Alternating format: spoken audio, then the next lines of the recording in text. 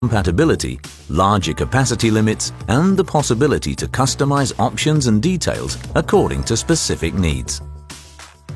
Like the compressor, a condenser is an essential component of any refrigeration system.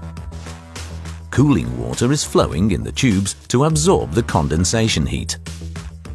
A flow of high-pressure, high-temperature gas enters the condenser on the shell side refrigerant comes into contact with the tubes and starts condensing into droplets until it's completely in the liquid phase. Liquid refrigerant is then cooled before leaving the condenser so as to be free from gas bubbles. The unique construction features of Bitzer condensers ensure superior reliability in stationary, marine and offshore applications.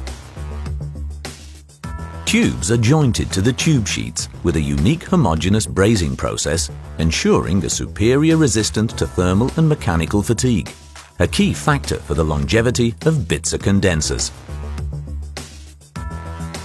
A coating is applied to protect tube sheets against corrosion and erosion risks.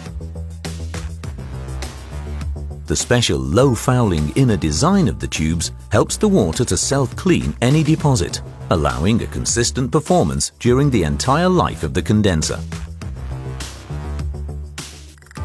Bitzer condensers are designed for different applications and comply with a number of pressure vessel regulations for easy stationary or onboard installation.